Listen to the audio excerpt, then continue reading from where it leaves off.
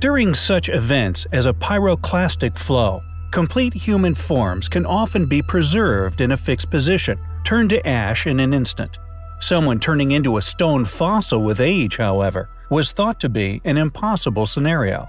That was until 1898, when an extremely controversial discovery was made deep within a copper mine. Although several reports have surfaced over the years of this most peculiar of discoveries, only one has ever managed to stay around long enough to be officially documented. Deep within an old copper mine in Chuquicamata, an ancient stone woman, complete with basket and tools, was discovered, and although a date of only 400 years was preliminarily given, it is clear to the many involved that she is far older than that.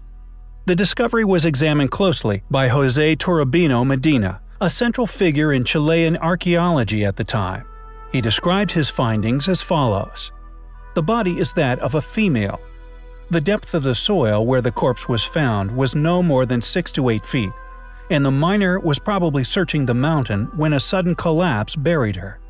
The miner, feeling that the mountain was breaking down, lifted her arms up to protect her head, the position in which her body is preserved.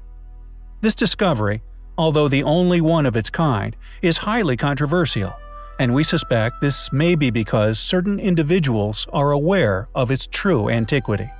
Beside the body were the remains of a basket, a stone sledgehammer, several stone shovels, sharpened pieces of wood, and a torn bag made of animal hide, all leading to the conclusion that this mummy dates from a very distant time within our history.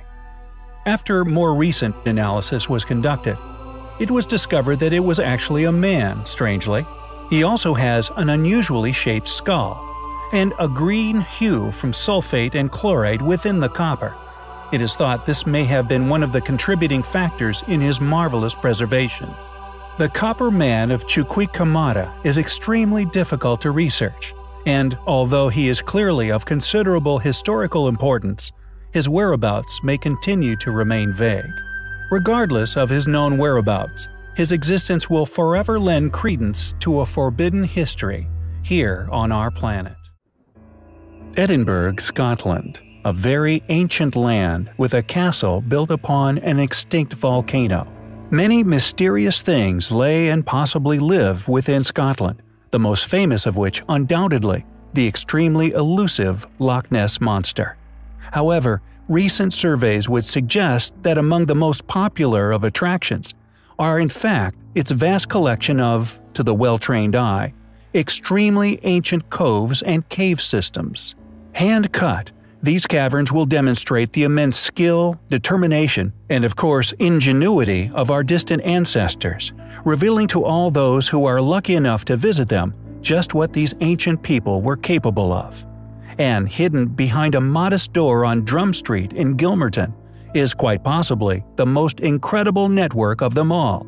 Underground passageways, large, perfectly carved chambers, benches, tables, and even a small chapel, all painstakingly hewn from solid stone by hand.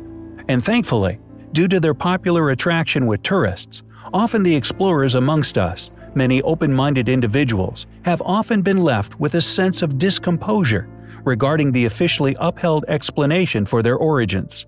As such, and rather predictably, many alternative theories, often involving a far more ancient origin for the cove and its purpose, now abound. The mass regurgitated view regarding the construction would suggest that a blacksmith by the name of George Patterson who actually resided within the cove within the 18th century, somehow created them alone, by hand, and within a mere five-year period, with even George himself claiming to have cut this extensive, elaborate, and unquestionably enigmatic underground structure using simple hand tools. Since the claims three centuries ago, however, numerous holes have been seemingly discovered within this popularly upheld sequence of events fueling the already prevalent suspicions within skeptic parties, maybe in an attempt to hide its true antiquity, as we experience so often during our research. On Wednesday, the 15th of August 1906, a front page column by a writer known as F. R. Coles for The Scotsman dug into George Patterson's version of events, commonly referred to as the tradition. Coles found it to have been nothing but a fictional fallacy, possibly created by George himself in an attempt to profit from deception. It seems Patterson not only accomplished the seemingly impossible, excavating hundreds of tons of stone, but also it seems he successfully went unnoticed by the entire surrounding population during this entire procedure. Just who could have built Gilmerton Cove? When was it built? Why did they build it? With modern radar scans of the surrounding area indicating that even more systems lay close by, still undiscovered, possibly isolated by ancient cave-ins, you have to wonder, could the Gilmerton Cove be far older and originally far grander and extensively larger than anyone today could have ever possibly imagined? Will we ever solve the mystery of Gilmerton Cove? It seems only time will tell. When someone mentions the word Jurassic, visualizations of enormous creatures surrounded by man-eating plants will soon follow. And this is for good reason, because during the era of the dinosaurs, enormous creatures could only survive with equally enormous food sources. Within the Black Hills of Dakota, petrified remains of these once enormous organisms can still be found. Presumably, they can also be discovered in many other parts of the world. Yet within the Black Hills, it seems the prehistoric remains have avoided the deluge of sediment which has been experienced elsewhere, subsequently burying the evidence under several meters of earth. Petrified, enormous trees that, when alive, would have soared into the air matching in height many of today's modern skyscrapers. Open to the public in 1929, an entire island, 50 by 100 miles in size, covered with the perfectly preserved petrified remains of a once gigantic forest. Trees of incredible and seemingly impossible sizes, destroyed by a cataclysm which made them collapse in unison. Now recognized as one of the largest outcroppings of fossilized petrified wood anywhere on the surface of the Earth, it is a rare natural insight into the enormity of Earth's ancient wildlife. Quote, Here is just the beginning of an astounding photographic documentation of this petrified island, a little glimpse of an entirely unknown condition upon the Earth. It is a major historical discovery that, if embraced, will cause major upheaval within the science and religious communities said Joseph C. Bennett from BeholdGiants.com. Scientists assume that the maximum height of a tree was 425 feet from the ground. At this height, the tree's ability to pump nutrients is supposedly overcome by gravity. However, Joseph, along with several other astute researchers, have discovered the remnants of ancient trees within the area, which would have had a circumference of over a half a mile. The Devil's Tower coincidentally also within Dakota, has been argued for many years by many people to actually be that of a once enormous petrified tree. The formation of its rocky surface does indeed appear to be reminiscent of tree bark, yet many will argue against such a premise, or indeed the possibility, based on traditional rather than more modern and controversial understandings of the past capabilities of plant and animal life. Thankfully, as more research is undertaken, and more become aware of these amazing places, the possibility becomes even more likely. The channel's recent expose regarding the possible true age of the Great Pyramids outlaid many fragments of evidence, strongly suggesting they predate a number of past advanced lost civilizations. However, it mistakenly overlooked a possible culprit for their construction. Numerous layers of casing stones, each once an enormous undertaking, occurred at varying times within antiquity by different civilizations which many perceive were possible conservation efforts.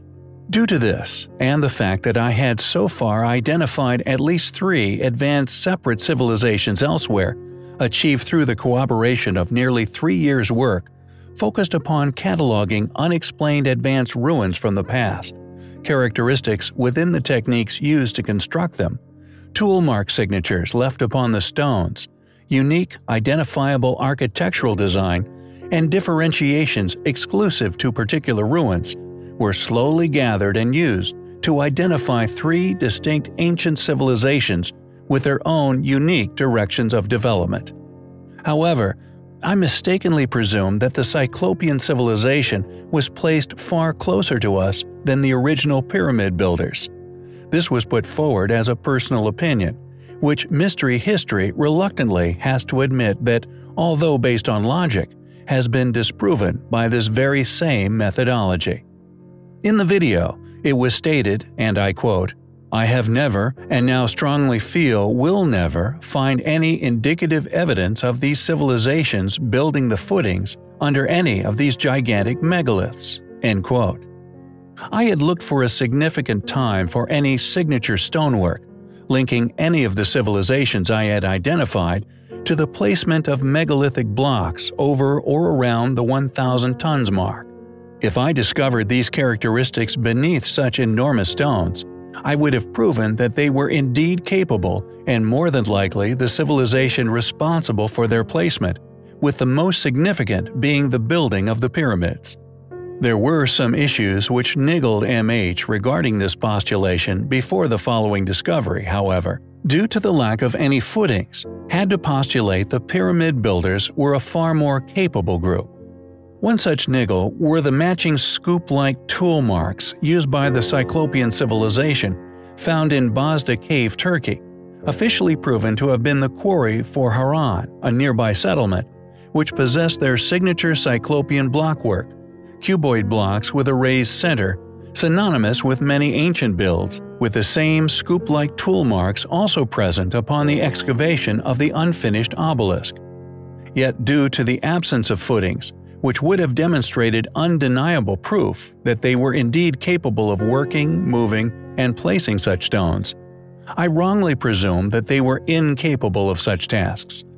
However, unlike academia, regardless of disliking the realization that he was mistaken about something, the motive of the channel is honest research and logical deduction. Thus, admitting one's mistakes allows not only mystery history's understanding to evolve, but is the only path one can take in the pursuit of truth. The Western Wall, Wailing Wall, or Kotel as known in Islam as the Buraq Wall, is an ancient limestone wall in the Old City of Jerusalem. Originally erected to its current height by Herod the Great in 19 BC, enclosing the Temple Mount in a large rectangular structure topped by a huge flat platform. The Western Wall is considered holy by both practicing Muslims and Jews. Of the four retaining walls, the western one is considered to be closest to the former temple, which makes it the most sacred site recognized by Judaism outside the former Temple Mount Esplanade. Just over half of the wall's total height, including its 17 courses located below street level, is academically claimed to date from the end of the Second Temple period and is commonly believed to have been entirely built around 19 BC by Herod the Great. However, the western stone, weighing around 600 tons, and a few other enormous stones, all located below ground level within the base, not only possesses compelling evidence of incredible antiquity, but beneath this enormous stone are the signature blocks of the civilization I named the Cyclopeans. This is evidence I wrongly presumed I would never find, demonstrating that the civilization I call the Cyclopeans were indeed capable of moving such gigantic stones. What's more, they were also capable of moving the pyramid stones, and indeed those of Baalbek, yet to be a viable suspect, due to the immense age of the pyramids. Evidence would need to be found to support this, and amazingly, these foundation stones do indeed contain just that. Still embedded within holes, presumably cut for the placement of the blocks, timber chocks can be found in these foundation stones, wooden planks which have over an unimaginable amount of time petrified into coal, stone, and flint-like materials, indicating a minimum age of at least 100,000 years. As such decay and petrification would not have been able to occur in the currently attested timeline. Could these stones date from the original construction of Giza's Great Pyramids? It is undoubtedly a wall many followers of certain Abrahamic monotheistic faiths hold in high regard, and one of incredible importance to them. Amazingly, however, due to these amazing features, it is also of high significance in regards to unraveling the secrets of history. It is, undoubtedly, highly compelling.